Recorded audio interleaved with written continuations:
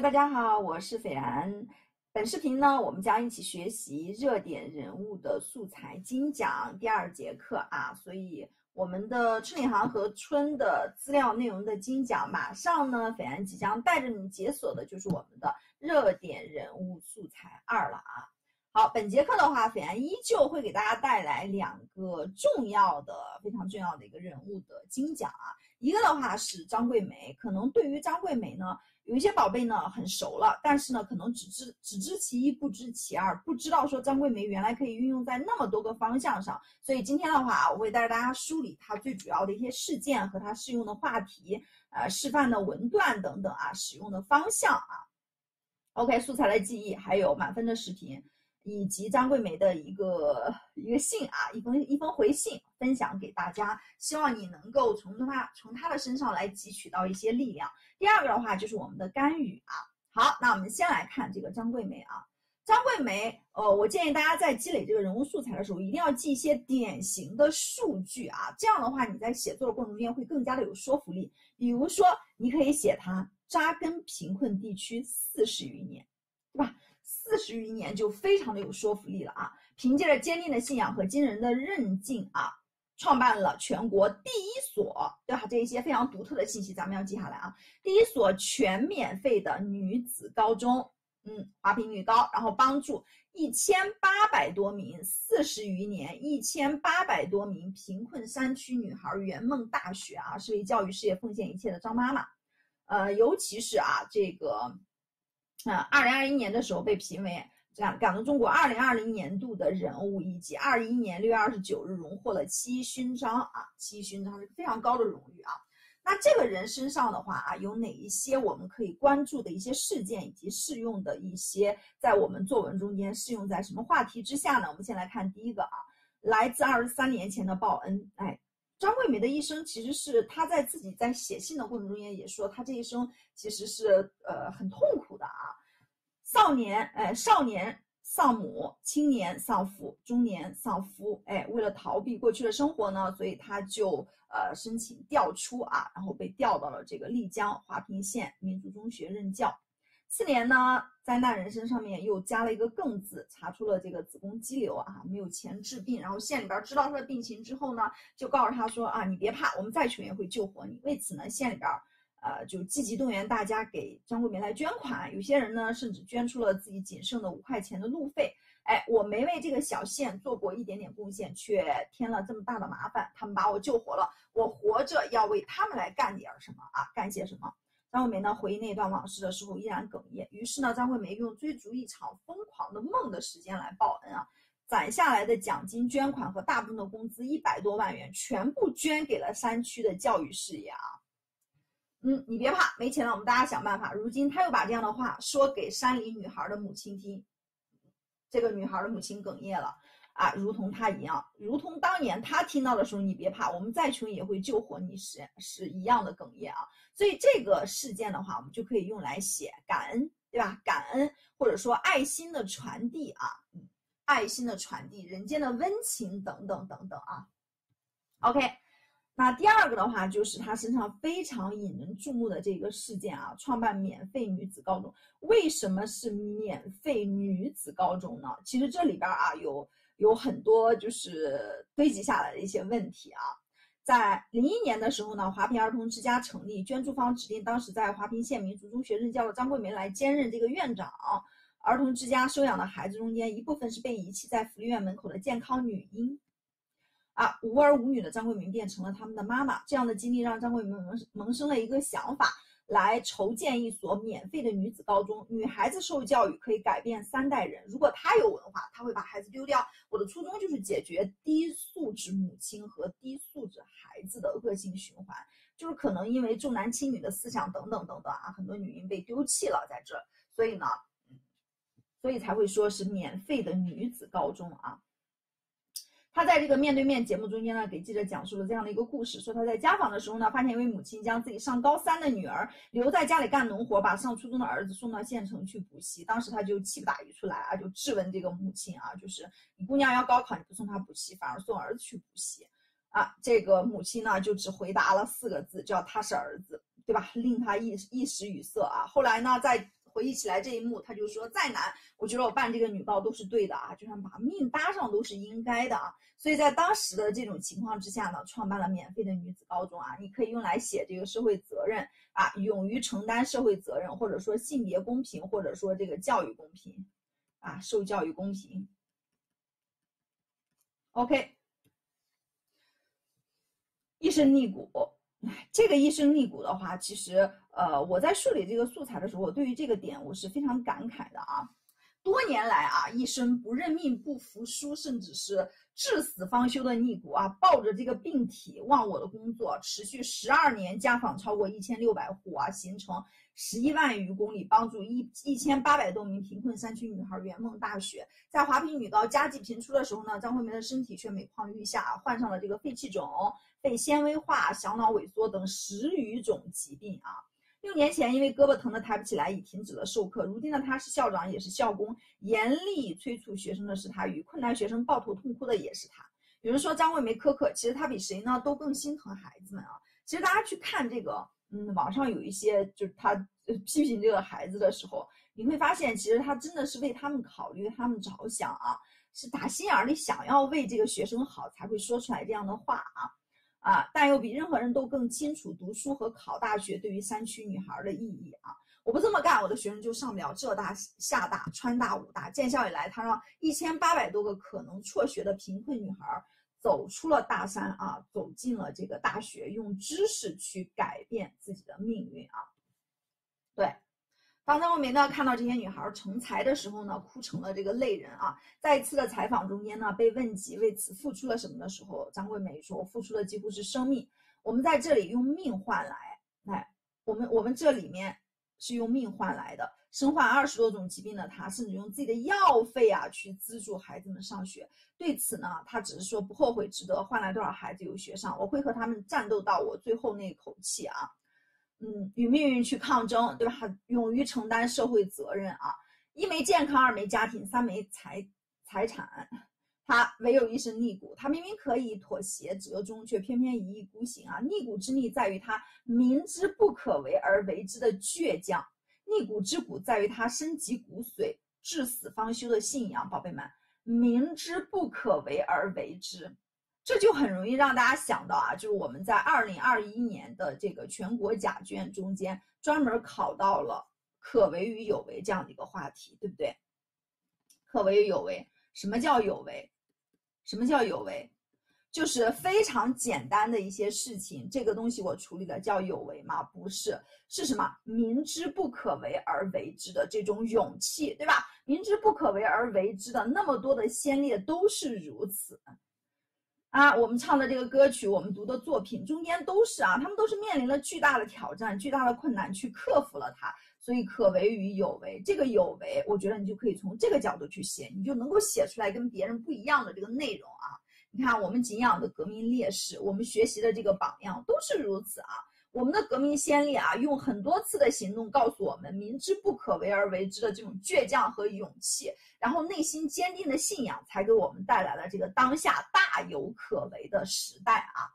OK，嗯，明明可以，至于很多人而言是生活的妥协，是在简单和困难的人生闯关模式中选择了容易完成的前者，而在张桂梅那里呢，却成却成了对生活发起的挑战啊。我们甚是感佩。英雄的榜样是英雄，对吧？我们经常说这个，嗯，我们我们现在经常来说这个英雄的力量，或者说榜样的力量，对吧？英雄的力量，或者说榜样的力量，这样一些话题的时候，你也可以去写到张桂梅啊，因为张桂梅呢，一直以来以革命先烈江姐是作为自己的榜样的。二一年的时候呢，她参加《朗读者》第三季节目录制的时候，在节目中朗读了胡言的片段啊，字字铿锵，目光坚定。六月三号呢，人民人民日报刊登了他的一篇文章《江姐，我一生的榜样》，深情的写到了说江姐是我一生的榜样。小说《红颜》和歌剧《江姐》是我心中的经典，我最爱唱的是《红梅赞》。演江姐，学江姐，她的坚强，她的忠诚，她的坚定信仰，她的无畏，成了我一生的楷模。当时呢，我便暗下决心要以她为榜样啊，做她那样的人。我年纪越来越大，但我希望孩子们记住江姐，记录在女子高中的那一抹红，这将是他们终生受用的财富啊！从自己的榜样那里汲取到了力量，然后去影响到、感染到更多的孩子们啊！呃，我觉得这其实也就是教育的这个魅力啊。嗯，然后感动中国呢，这个事例和颁奖词，大家可以梳理一下啊，因为事例的话，他已经把最核心的这些点给到了大家啊。没有子女，却是上百个孩子口中的妈妈，身患绝症，却把自己所得的奖金全部捐给了贫困山区的孩子们。他在基层教育岗位上辛辛勤耕耘数十年，用自己的心血和汗水托起了贫困山区孩子们的希望啊！他就是华坪女子高中党支部书记、校长、儿童之家福利院的院长张桂梅。所以还是我们前面提到这些核心的事件啊。浪漫的三花中，我们发现你自然激你以风雪，对吧？他的人生。就是困难模式，就是不容易走的，就是这种我们经常说简单困难模式，对不对？打游戏中间的这个困难模式啊，啊，你报之以歌唱，命运置你于危崖，你馈人间以芬芳，不惧碾作尘，无意苦争春。这个其实也有诗句的化用啊，怒放的生命向世界表达倔强，你是崖畔的桂，雪中的梅。好，那我们可以写什么呢？我们可以写坚守信念。对吧？教育理想，教育信念。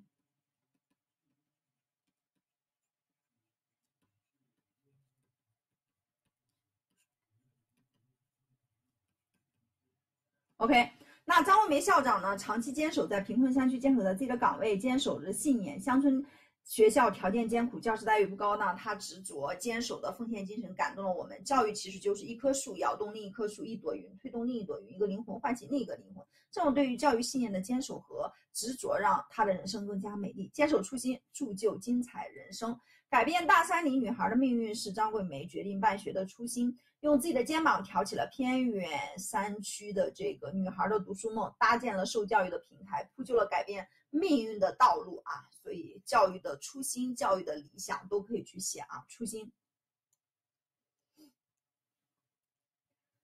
OK，那这个我们继续往下看啊，这个初心信念，这个有有一些类似，大家一定要梳理的过程中间对它进行一个整合和加工啊。你看，是他决定办学的初心，改变大山女孩的命运，所以坚守自己自己的初心多少年，四十多年，对吧？扎根于这个山区的教育，哎，免费创办这个第一所这个女女子免费的女子高中，然后。啊，帮助山区里边一千八百名女女女孩子去实现自己的教育梦想啊，去圆梦大学，坚守责任责任这个点啊，然后爱岗奉献，对吧？爱岗敬业奉献啊，用自己平凡的双手托起了许多许许多多女孩的求学梦，坚守责任，爱岗敬业，无私奉献啊，带病工作。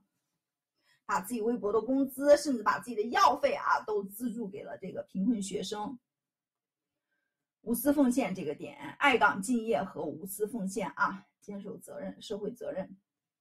OK，那这个我们前面其实提到这个点的话，就是大家可能会呃想的更稍微直接一点。最后的话，再给大家分享另外一个点，就是教育扶贫。我们经常说脱贫攻坚，对不对？脱贫攻坚，我们有一句话叫扶贫先扶志，对不对？扶贫先扶志。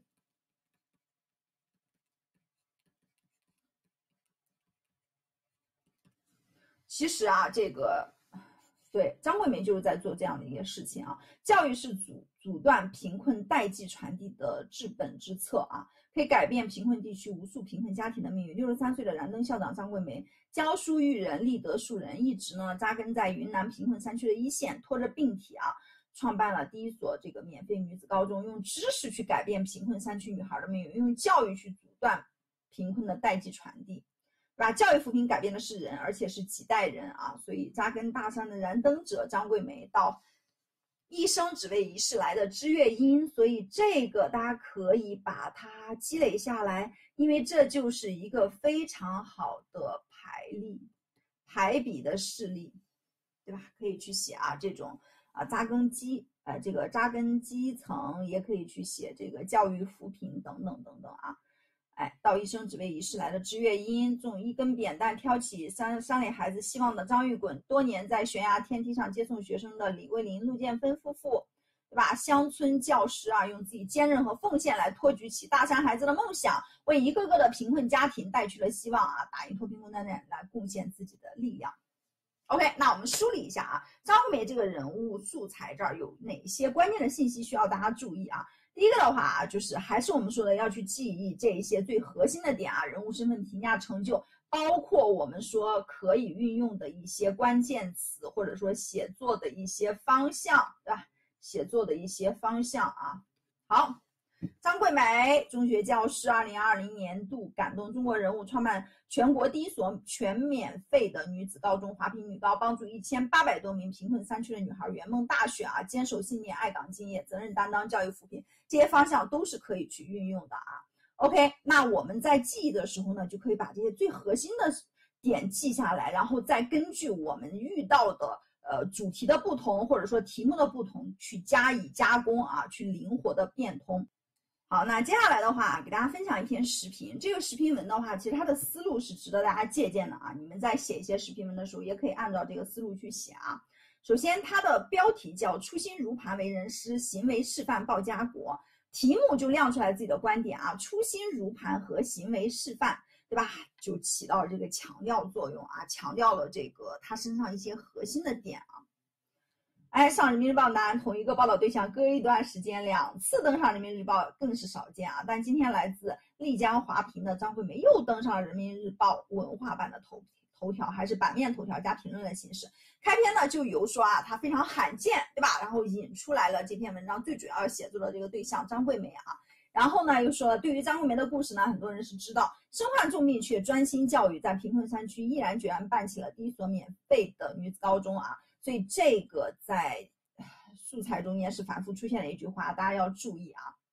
嗯，然后呢，又引出来什么？引出来教育这个话题。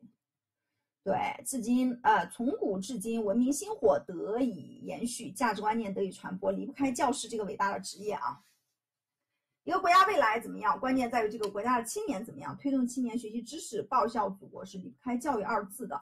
张桂梅呢，作为一名人民教师，用实际行动去书写了坚守责任担当啊，对吧？就叙述他身上的一些核心的一些事迹啊。病魔呢折磨着他，他不愿意多花一点时间与病魔做斗争，想有时有限的时间来帮助山区里贫困的女孩早日完成自己的学业，让大山深处多飞出一些金凤凰。哎，这份初心呢，让人尊敬，让人感叹。好，那接下来的话，他就分析了啊，就是。呃，说这个教师呢，总是挺立在时代潮头之上啊！哎，先生之风，山高水长，从启蒙众人到传授新知，再到教育救国啊！有人说呢，教育是立国的根本啊，有有说出对吧？这里边呢就提到好几个人物啊，有说出教育是立国根本的陶行知，有捧着一颗心来不带半点根去的龚全珍，有坚决创办女子学校，改变山区贫困女孩命运的张桂梅，这是不是又是一个牌？所以大家会发现啊，这个金牌写手他们在写作的过程中间也是啊，有这种详细展开的，也有排例啊，有详有略啊，哎，饱含家国情怀的赤子用行动书写了教师的真谛啊，治天下之智者在人才，成天下之才才者在教化。无数张桂梅们坚守在最需要的地方，为中华民族伟大复兴保留了最珍贵的火种啊。所以呢，就提到了这个原因，第一个就是为中华民族的伟大复兴保留了珍贵的火种。好。那接下来呢，又提到了一个点，就是以治扶贫，就我们刚刚说的扶贫先扶治啊。说，哎，这个往大了说呢，它输出的不仅仅是知识和价值观，更是输出了什么很多的栋梁之才啊。无数像他一样的教师为祖国事业引引领了一个美好的未来啊。然后倪秀兰是不是又提到另外的啊，和他类似的乡村教师倪秀兰，贫困啊，任教贫困山区小学三十一年，为山里的孩子们撑起一片天啊。然后呢，又提到了这个焦生定。好，最后的话啊，就是对整篇文章的一个收束，说灌溉心灵之花呢，复制品格之树。啊，教师是责任重大的啊，正有无数的像张桂梅这样的教师坚守在大山深处啊，他们初心如磐，为人师，行为示范报家国。这是不是又一次回扣了标题啊？对吧？照应了标题，而且回扣了自己的观点啊。嗯，然后呢，收束整篇文章，总结整篇文章。所以倪秀兰、焦生定和我们前面提到的这个排例，大家都可以对它有一个积累啊。你你想写这个乡村教师这一个系列的时候，你就不仅仅有张桂梅，你还有我们今天讲到这样的一些人物啊。好，那接下来的话，斐然想。呃，给大家分享一下，就是这是这个呃新华社啊微信公众号呢刊发的张桂梅的一封回信，应该是收收到了这个收到了不少这个读者呀，或者说呃学生给他的一些一些信啊。啊，他在他他的这篇他的这封信叫做不惧怕人生的寒冬里必然呃带着必然的希望。他说啊，这个虽然没有见过面，读着你们的来信，我仿佛提问，我仿佛看到了提问背后一张张或困惑或迷茫或正在认真思考和自我和未来的年轻的脸。啊，这一年里呢，或许你们各有各的不容易，既要面对自己升学、工作、情感等方面的压力，又要直面外部环境变来的。带来的内心焦虑和挣扎，每个人都希望人生可以不断前进，但我们也不得不去面对人生中脚步慢下来甚至停下来的那些时刻啊啊！你们当中呢，很多人呢就问了我这样的一个问题，我觉得我的人生可能就这样了，我很辛苦，我是不是应该认命了，对吧？我是不是应该停下来歇一歇，或者说我应该就是躺平了，就这样了？嗯，他接下来呢就说了，他说：“我相信人生在必经的寒冬里，也带着必然的希望。没有人愿意经历严寒，但他经常不请自来，不经选择，也很少有人敢确信未来是一帆风顺的。但如果你经历过和见过，你会相信，并且愿意把它强烈的送给别人，让身边的人去感受到啊。然后呢，中间的这一部分呢，他就讲到了自己人生中间最黑暗的一段时光，自己的人生经历啊。”所以呢，啊，你们的人生也一定经历过这样的时刻，感觉全世界都在跟你作对，所有的厄运都降临到了你的头上，走，哎，这个走出痛苦的过程，有时候比痛苦本身还要难受。那时的我只是一个普普通通的年轻人，在挫折面前没有那么坚强，我只是努力的让自己再多挣扎了一下，对吧？所以把这句话也分享给所有的同学啊，努力的让自己再多挣扎一下，嗯，抱着一线希望啊。嗯，所以大家可以仔细的品一品这这一句话啊，我们所有的这个小自然以及我们 C C 小队里面的成员们，对不对？所以啊，嗯，大家的高中生活可能都有各自的累啊和各自的这个不容易，所以嗯，你们在就先不要那么着急认输，对吧？先不要那么着急去认命啊，还是再努力再坚持一下啊。在走出痛苦的过程中间呢，身边的人向我伸出了手，让我感受到了人世间的温暖。哎，就是那一点挣扎，一点温暖，让我一次次的坚持下来了啊。所以呢，他也提到了，就是我现在过得也是很苦啊，积了一身病啊，然后我心里面也是很难受。但是现在的苦是一种我愿意付出的苦，因为我有个清晰的目标，我要把孩子们带出大山，我要去实现它。有目标呢，就有了干劲儿，就不觉得那么苦了。嗯，所以呢，他就给了所有就是。孩子们一个建议啊，就是你们需要有一个人生的大目标。你们人生的大目标是什么呢？有一些宝贝可能是在这个阶段觉得我要考上我理想的学校，对吧？有一些宝贝呢，可能从小就有自己感兴趣的一些方向，想要以身以后投身到这个研究的方向中间啊。所以这个大目标去帮助你走过那些痛苦的、坚持不下去的时刻啊。哎，这个大目标呢，就像一座高山，需要长久的攀登，你还需要找到一条一条上山的路啊。在每天的日常里边去完成一个个具体的小目标，一步步扎实的去往上爬，爬着爬着呢，或许就走过了这一段黑暗的路啊。拨云见日，给你们写下这封信，讲述呃，希望从我讲述的经历中，让你们感受到一点点温暖，一点点力量。这是我今天正在完成的小目标。我今天还有好多个小目标要完成，比如我等会儿就要去看看孩子们测验的情况，督促他们上好每一节课，抓好每一分，也是我现在的每天的小目标。你也许和我一样，正在完成每天的小目标，也许呢正在寻找你的那个大目标。但只要你开始思考，开始行动，你就已经走上了一条必然不易，但也充满希望的路途。放弃和认命是一条没有尽头的下坡路。请记住，在任何一个你没有察觉的时刻，包括现在，通过行动去改变命运的机会是一直都存在的啊。OK，那张桂梅呢，斐然就给大家分享到。接下来的话，我们进入到我们的第二个素材啊，甘雨。所以甘雨的话，我会讲的稍微快一点，因为他身上的这个事件会相对聚焦一点啊。然后没有张桂梅，他能发散的这些角度会更多。所以甘雨的话，可能呃，大家对呃这两个名字的认知，很显然对张桂梅的了解要更大一点，对不对？所以甘雨它其实就是我们经常说的这个平凡啊，很平凡。你可能呃，你可能不知道他啊。平民英雄啊，OK，在泸定地震中，甘雨和同事罗勇拉闸泄洪，避免了河水漫过大坝去冲毁下游的村庄啊。所以自己挺身而出啊，然后挽救了很多人，挽救了很多的这个呃很多人的生命啊，很多个家庭等等。但是呢，他却成了什么？他却失联了十七天啊，失联了十七天，整整十七天啊，在这个猛虎岗最后被找到。好，具体的话，这个故事是怎么回事呢？旧工友开水闸在大坝坝间度过第一夜啊。呃，发生了地震之后呢，地震不仅导致了这个人员的伤亡、设施受损，而且这个湾东和上游的山体滑坡形成了这个堰塞湖。如果电站不及时的去打开这个泄洪闸，后果是不堪设想的，后果是很严重的啊。所以呢，甘雨呢，嗯，就看到啊，就是说到处都在坍塌啊，然后眼镜呢被石头打飞，两个工友呢也是被打打倒在地啊。我和罗勇，他和自己的同事就去救他们啊。然后把他们拖到一边，找个铺盖盖上啊。但他们受伤太严重，过了一两个小时没气了。还有一名工友呢，被排在被埋在了这个石头下面啊，石头太大啊，怎么都推不动啊。然后我跟罗勇一起，我们俩就商量说啊，这个泄洪闸没开，大坝的水是关起的。如果说发生了这个水漫坝，哎，那就十分危险了，下游的人和村庄都要被冲走。所以呢，我们决定上去把这个大坝的水给放放出来啊，等这个周围的山体稳定了，哎，罗勇就冒险爬上这个大坝的坝尖啊。啊，用柴油发电机发电，把两道泄洪闸打开啊！但泄洪效果怎么样，我们也不确定。所以呢，那天晚上他们就在这个大坝坝间过的夜啊，盯着这个水位变化，看这个水到底放出去没有。所以大家下一次在写逆行者的时候，也可以去写写一写我们的干预啊，就不一定说我们疫情中间，我们写逆行者经常会想到疫情中间的医护人员，对吧？他们是最美的逆行者。你下一次也可以去写干预和自己的这个。同事罗勇，对不对？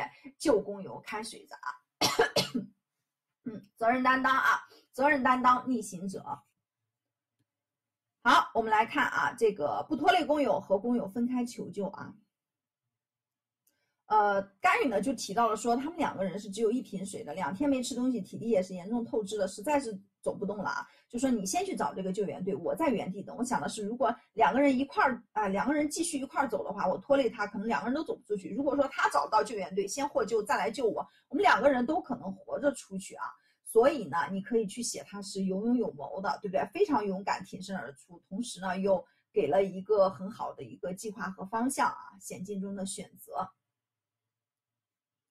荒野求生，呃，我在看这一段的时候，我觉得真的就是意志力非常的顽强啊，啊，罗勇呢在被困七十五小时之后脱险啊，但留在山上的甘雨呢是完全与外界失联的啊啊，他说罗勇指的方向是猛虎岗的方向啊，说这个山上是有草甸的，有放牛放羊的，说不定会碰到人。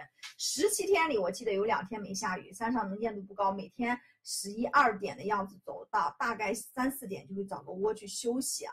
然后呢，他就呃看过这个贝爷《荒野求生》里边的视频啊，学着里面的样子啊，去喝这个呃，就是睡睡在石缝里边啊。下雨呢，就可能还喝一点点这个雨水，但是很多没有下雨的什么呢？喝自己的尿液啊。所以大家在写这个运用这个片段的时候，你可以去写啊，坚强勇敢，意志坚定，意志顽强，对不对？生命的奇迹等等啊。哎，最后的话啊，我觉得这个片段也是让我很感慨的，嗯，这个村民啊，倪太高，倪太高呢，在进山进山找羊的时候呢，遇到了搜救人员，听说甘雨的故事，老倪决定找羊的同时，也找找这个素不相识的好人啊。第一天没找到，第二天晚上，哎，早上九点多就听到了这个救命的声音啊，所以呢，他就找到了这个找到了这个甘雨啊。对吧？听说有人需要这个帮助啊，然后找羊的时候就去找这个素不相识的这个好人，这不就是我们说的这个双向的奔赴嘛？平凡的英雄，或者说平民英雄、平凡英雄，不仅仅说的是我们甘于，我们这个村民泥太高也是如此，对不对？在别人啊勇于就需要帮助的时候，你勇于伸出来这个手，而且愿意为之付出，那我觉得你就是我们说的这个英雄啊。OK。失联期间最焦心的是他的家人啊，这个很正常，就是最焦心的是他的家人。但是在这个片段中间，你看啊，当他这个嗯，当这个甘雨的爸爸啊看到这个甘雨受伤非常严重的时候，说儿子你比我有出息，我觉得这个点啊，真的就是他为自己的儿子骄傲，而且很显然他是很认可自己儿子的这个行为的，对吧？这我们就说家庭教育的这个力量啊，父母肯定也是心里非常善良的人啊，才会教出来像甘雨这样的孩子啊。家风家庭教育啊，也可以去写这样的一个片段啊，啊，然后呢，给大家进行一个素材的点播啊。在生死关头呢，放弃了逃生的机会啊，没有放弃责任，以一命换几几百命，我必须做的精神啊，把这个震后的损损失也降到了最低。但很多人以为他可能遇难的时候，可爱的老乡并没有放弃寻寻找啊，出于良知和责任啊，在甘雨他们不放弃中，倪太高呢和老乡，对吧？是受益者，倪太高的不放弃，甘雨又是受益者，所以双向啊，双向奔赴换来了这个奇迹啊。所以呢，甘雨在救人过程中间眼睛丢了，这是助人的本能。倪太高听闻有人在山上连续两天上山寻找，这是一种暖心的回应。双向奔赴的感情体现了危机关头心中大爱蔓延在中华民族血脉里的精神内核。没有从天而降的英雄，只有挺身而出的凡人啊。对你也可以去写啊，就是英雄是什么呢？出自普通人的，对不对？英雄是出自普通人的，这就是我们经常说的这个点，就是什么？平凡与伟大啊，平凡与伟大，平凡中孕育的伟大。大多数英雄都是出自于普通人啊，只不过说他们在这个呃国家需要他，人民需要他们的时候站出来了啊。OK，勇敢逆行，对吧？勇敢逆行的精神动力是对关键时刻啊冲得上去，危机关头豁得出去、豁得出去的最美诠释。哎，彰显的也是新时代青年心系祖国、心系人民的使命与担当啊！勇敢逆行。最后的话啊，中国式的这个家庭，中国式的父母，对不对？哎，说儿子你比我有出息啊！所以呢，中国式的家庭，中国式的父母不希望子女出人头地、大富大贵，只期望能够为国家、为社会、为人民多做实事好事，这才是有出息啊！所以优良家风的传承啊。涓涓汇聚成江海，也凝聚起了中华民族伟大复兴的磅礴力量，对吧？我们说家风良好的家风，家庭教育啊，对人的这个影响。好，那我们一起来梳理一下啊，甘雨这个素材的话，它有哪些最核心的一些信息？甘雨人民平民英雄，地震中开水闸，避免河水冲毁下游村庄，失联十七天，对吧？这个数字啊，大家典型的数字一定要记下来，失失联十七天。好人倪太高救了好人，对吧？救了甘雨啊！哎，这个父亲说：“儿子，你比我有出息，可以写责任担当、逆行者、平凡与伟大、家庭教育都是可以的。”然后我们的资料中间的话啊，也给大家准备了这个素材的脑图，里边包含了我们的记忆的公式，然后还有我们写作的方向啊，所以大家也可以拿着我们这个进行巩固。好啦，以上的话就是我们本次课的所有的内容，我们讲解了张桂梅，讲解了甘雨这两个热点的人物啊。后续的课程中间还有更多精彩的内容，记得按时的观看哦。我们下次。